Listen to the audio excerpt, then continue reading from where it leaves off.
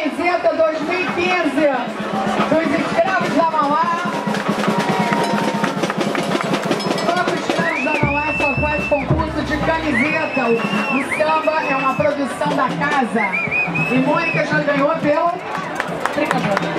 Terceira vez, ela é tricampeã. Tricampeã. Obrigada. Eliane. Eliane.